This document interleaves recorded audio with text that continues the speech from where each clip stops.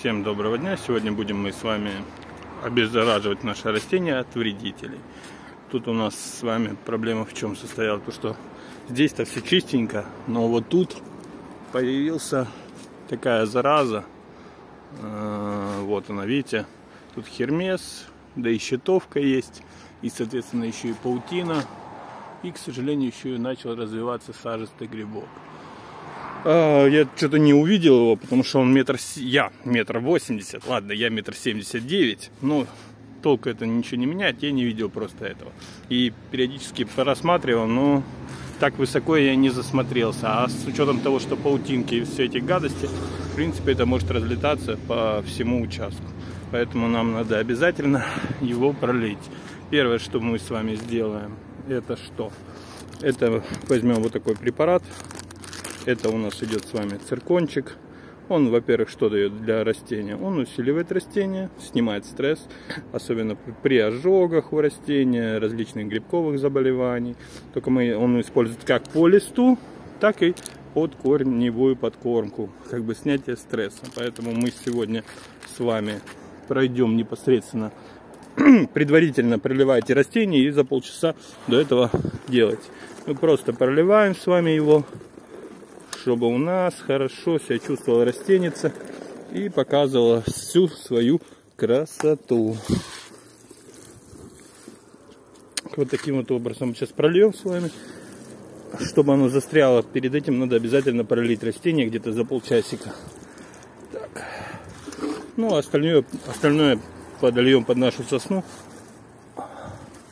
чтобы она себя тоже чувствовала прекрасно, чтобы не как говорится, не терять наше растение. Оно используется как по листу, так и под корневую подкормочку.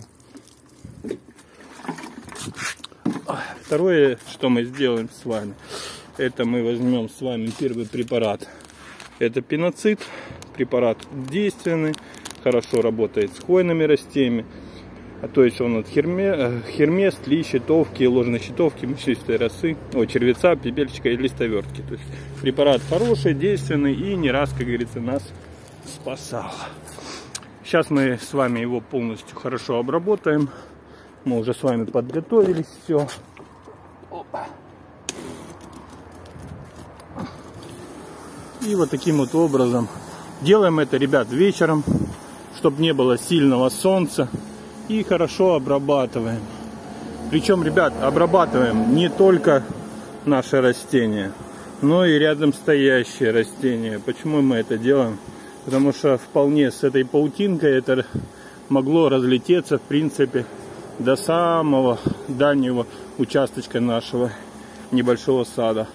Поэтому обязательно обрабатываем его полностью, весь стволик, чтобы у нас с вами нигде не остался этот собака.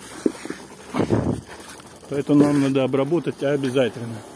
Все хорошо и наверняка. Потому что здоровье нашего растения это главное, а второе главное, что чтобы это не переключилось на другие растения. С учетом условий того, что у нас есть паутина, а, этот хермес довольно-таки легкий, он может в принципе загубить там все растение и соответственно рядом стоящие растения. Поэтому нам надо обязательно обработать и рядом стоящие растения. Чтобы наверняка у нас было все чистенько. Через дня 3-4 мы с вами проверим это все, точнее через 3, как у нас это все уходит. И уже начнем работать с вами от грибка. Чтобы наше растение в принципе чувствовало себя прекрасно, и показывала хороший результат. Поэтому мы сейчас все с вами это и обработаем. Обязательно проверьте рядом стоящие растения.